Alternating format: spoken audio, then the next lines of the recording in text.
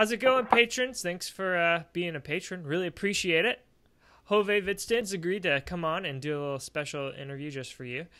And uh, Haavard, I, I was wondering if, well, thanks for being here. yeah, thank you for having me again. And I was wondering, or we were just talking a little bit about like your practice with site swaps and kind of how you approach site swaps. So I was wondering if you could uh, talk about that for a little bit. Yeah, uh, yeah, with site swaps, I don't know. I, f- I always felt for me the most important things with uh, swap was to keep really uh, the beat in mind, because uh, the beat is kind of the basis for all site swap. Even if it's sync or if it's async, it still relies on having this, uh, yeah, constant beat all the time. Uh, where every ball lands, uh, yeah, if you're doing async, you're gonna land on a specific beat all the time. So that's where the heights are really important. Mm. Because uh, I see a lot of people do uh, site swaps, but they kind of uh, what me and Lewis described it as is we, we call it fudging. Uh, and a fudge is basically when you uh, kind of squeeze in throws mm-hmm. that you actually don't really have time to do. Mm-hmm. For instance, uh, if you juggle 6x4 like this, you can kind of wait a bit and force yourself back into a five ball cascade. Mm-hmm. Um, and we call that a fudge because it's not really valid site swap. You just kind of um, you kind of yeah mix up the dwell time on the hands a bit and the heights a bit mm-hmm. to make it like uh, easy to transition into something else. Uh, and I see a lot of people do this with uh, normal side swaps too, uh, that don't really pay much attention to the heights of the pattern mm. or how long the ball is in the air before it's caught again mm-hmm. uh, which makes them have these weird rhythms, maybe like a gallop rhythm mm. for some patterns, and mm-hmm. are really like stressed on another one. Um, so I think this is really uh, really important to figure out how long is this ball going to be in the air, and uh, I usually think about it like uh, uh, let's say you have a metronome, mm-hmm. and you say that uh, so this is a one this is going to take one beat uh, to get back and forth between the hands. Mm-hmm. So it's a one, one, one, one, one, one. You can count these beat as one, two, three, four. And then it's important to keep in mind that the two is going to last exactly twice as long as that one. Mm. So it's one, one, two.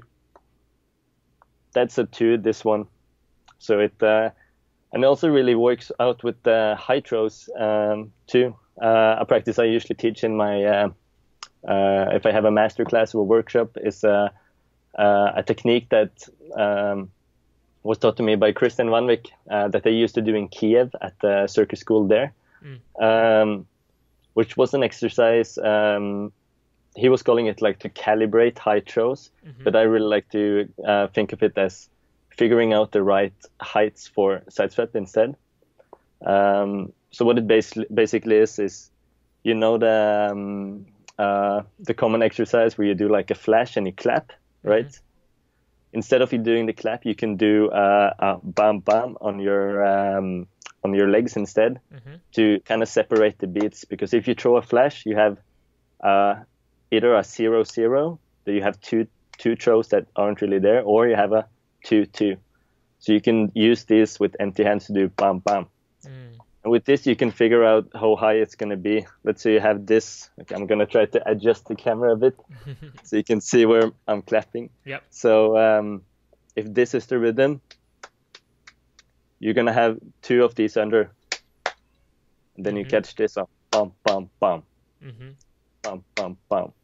And with the four, it should be bam, bam, bam, bam yeah, it's it's not high enough to do it here, but if you get the picture. Yeah. Keeping the same beat under a high throw. Mm-hmm. Uh, if you manage to catch it on the beat again at the right amount of beats, that's the perfect height according to that beat. Mm-hmm. Um, mm-hmm. So that's something to keep in mind. So you practice out, that with one ball first. Uh, I used to do it uh, a long time ago. Uh, I think it really helped me get like a feel for how to do site swap or at least make it more uh, intuitive, I guess. Um, because after a while, when you learn a lot of side swaps, um, I guess you don't really think that much about how high you're throwing. You just know it's going to work according to when they're going to land, basically. Uh, uh, so you kind of can improvise the site swap a bit too. Uh, you get to know, yeah, you kind of know uh, how high uh, the ball balls are going and also how long they're in the air, and uh, it's something to practice in the beginning. At least, uh, I think it's really important to get the feel for the heights and the beats, and after that, it's easier to do different kind of throws after each other too, because if you keep the right heights and the right um, yeah speed or the beat they're going to land at the right time. I mean, it's going to be easy to get into a pattern again. But if they're like fudged, uh, mm-hmm.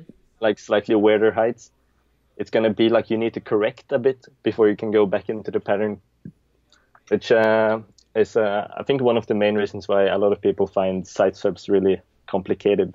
Yeah. But then it's important to break them down into, yeah, I mean, smaller, more digestible parts, I guess.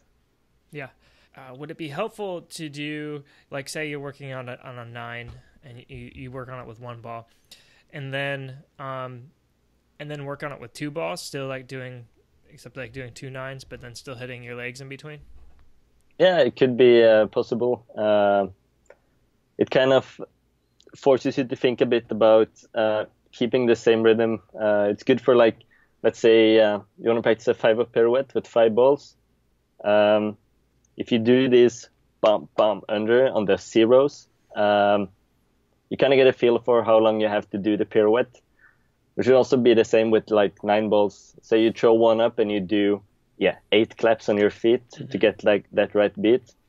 That will kind of indicate a bit how fast you want to throw the nine pattern. Mm-hmm. Because if it works with the claps, uh, it should work with the with the actual pattern too. Right. And another reason why I think uh, these claps on the legs are uh, a good idea uh, compared to this, which I think is a terrible idea in the first place, um, because this doesn't really represent the throw at all. It's like you throw a flash and then you're supposed to go up and clap and go down again, mm. which doesn't really make any sense if you think about it in relation to like any real juggling. Yeah. Um, except maybe doing like a 2x, 2x, I don't know. Um, but but these are really like you throw from here normally in juggling, and this is just where you turn your hand and touch it. Mm-hmm. So it really corresponds well to when the ball is gonna land in your hand, not when you have like empty hand hands right. like this. Right. So um, hmm. I think it's a nice idea to go away from the claps if that's what you're used to, and try yeah. doing separate two beats instead. Yeah, because when I've practiced with the claps, um, I would say it's actually sort of encouraged the fudging. Um, exactly, I, it's I, like bum bum. Yeah, yeah. Um, is there any is there any time when fudging is acceptable? Yeah, uh, fudging is super interesting uh, actually, uh, and I think there's done very little research on it.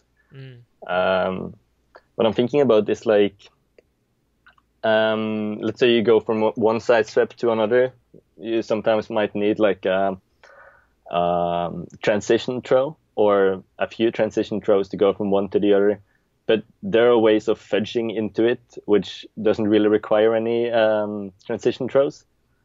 Um, like, I don't know, fudging into 6x4 from a cascade is totally possible. Uh, mm-hmm. also from 6x4 to a cascade. Mm-hmm. And there's a lot of other patterns too.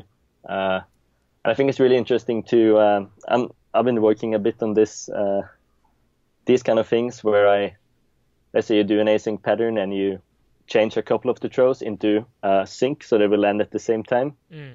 And then they're ready for doing like a sync exchange that might go into async again. Mm-hmm. So you get these uh, patterns that are a mix of async and sync. Mm-hmm. And I guess in some way you can call it fudging. Mm-hmm. Um, and I, uh, I think I think there's cool possibilities with those kind of um, patterns too. Yeah. Uh, people usually stick to just sync or async, but I think there's uh, definitely room for for creating stuff that yeah has yeah. both of them. Yeah, I think it's it's I think one reason it's unexplored is because it's it's just it's so quick like it and it's you know it's yeah it would be hard to keep consistent but I don't know I think about it in like music terms, just because I have some music background. Um, mm. You know, like I would say, like our normal a normal throw in site swap might be like a quarter note, but then when you yeah. throw like an, an eighth note or a sixteenth note, like I just noticed this morning, Mike Moore posted a um, upside down box video where he did orbits, and it's Oh, yeah. like his hands are moving so quick, like you know, it's Yeah. um, but you know, it's still considered. I don't know what I don't even know. I don't know how you can really apply site swap to upside down box with orbits, but Uh, yeah, another thing. Uh, maybe I'm just uh, talking too much, but uh, it's something that's really interesting. I think is dwell time, which is also uh, really underexplored. I think because there's like, um, because like siteswap is all about how long um, the the balls are in the air, right, and before they land again, how many beats it takes. But you can also think of it. The time you're holding a ball is also a time that's uh, it's included in the site swap. Like if you're holding the ball for um, until the very last minute before you throw it, or if you throw it very very quickly, it's like the most extreme would be not releasing it at all and just tapping it like this. So you get this slap back. This would be like hmm min- minimum dwell time. hmm And so let's say you do two, uh, you do a high throw, but you have a very very low dwell time both on the throw and the catch hmm that high throw could be a lower throw in site swap. hmm Well, if you have a you throw a low ball which you hold extremely long before you throw it, and also catch it super slowly, that could be a higher throw. So, hmm which I think it would be uh, that's really interesting that you can do a a five three one where the tree is actually the highest throw, mm uh, but just because it has very very uh, short uh, dwell time, Yeah. it can be yeah stuff like that too. Uh, Yeah, that's interesting I find it about. interesting. Um, all right. Well, uh, transitioning a little bit from this technical site swap talk, uh, you said you mentioned that you might be interested in talking a little bit about the community before it before YouTube and uh, Facebook. Yeah, uh, definitely. Uh, something I wanted to talk about the last interview um, because it's. Uh, I think there, there's a lot of new jugglers uh, on the internet now. Uh, maybe people have started out because of Facebook or they were introduced uh, through YouTube or I don't know, lots of different stuff. Um, that really only know Facebook and YouTube as the places to find um, find juggling. hmm So I was talking about in the last interview how I like I did a four ball shower before I did a three ball cascade. Hmm Um, and uh, it was also because we, we didn't really have any uh, any good internet at home. We only used uh, dial up. hmm Uh, we didn't have a broadband at that point, so we didn't really use it for anything uh, special. So it never really occurred to me that I could search up juggling on the internet hmm this was back when I was like, yeah, uh, between six and eight, six and nine years old, anyways. hmm Um, but I remember when I moved, I moved to London for uh, two years just because my dad uh, uh, was working there, uh, or he uh, he got the job there, and uh, uh, we lived there, and uh, then we finally got broadband internet, and after that, kind of like everything changed because I could be on the internet for as long as I wanted. Hmm and uh, then I started really searching up juggling and making so many discoveries there. hmm And it was really the first time I discovered that the internet was full of juggling. Um, and I, I think I got a, I probably spent a couple of hours or more uh, every day just like reading about juggling, watching videos, uh, that kind of stuff. And but it was super different than what it is today on YouTube because all the videos were like scattered around on uh, different private servers here and there, and there was no streaming back then, so all the videos had to be downloaded. hmm And uh, you probably remember internet uh, 15 years ago; it was it was super slow, and to download um, uh, juggling video, uh, maybe uh, maybe it was five minutes or three minutes. It, it would take like literally a couple of hours to download. hmm Um, Yeah, I remember setting. Uh, I remember Kazaa, and I would set. oh yeah, I would set songs. I would set like twenty songs to download at nighttime, and maybe ten would be done when I woke up. exactly. Yeah, it it took ages. yeah. and uh, yeah, I remember I had Kazaa Kazaa too.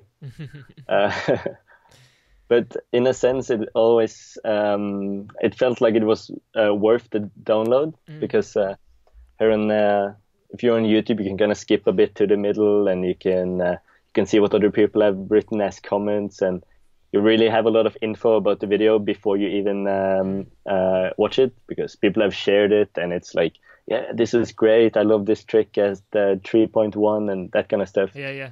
but uh, back then it was really just I have no idea what this is, Right. but I'm gonna download it and I'm gonna watch it and it's gonna be awesome. Yeah. So, Uh, so do you think that helped you to value it more? yeah, uh, maybe, and also because it took so so long to do it uh, or to download it, uh, it really made me like watch the video over and over again and uh, really trying to like yeah, pull out as much I could from the video, I guess. Um, and